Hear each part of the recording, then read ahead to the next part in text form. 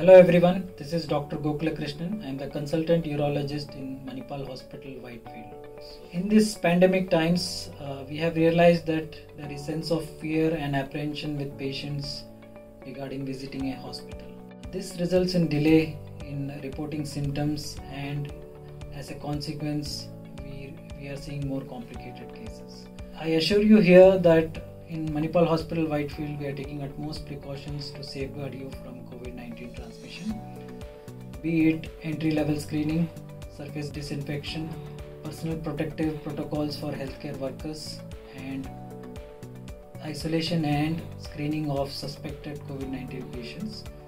And this cuts down the transmission rates to almost nil and we also encourage a lot of video consultations for follow-up visits.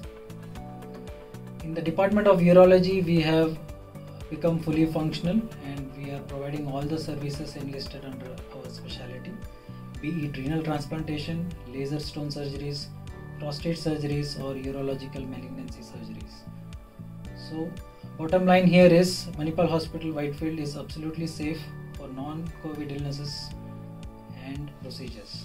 I would uh, like to encourage you to visit hospital and.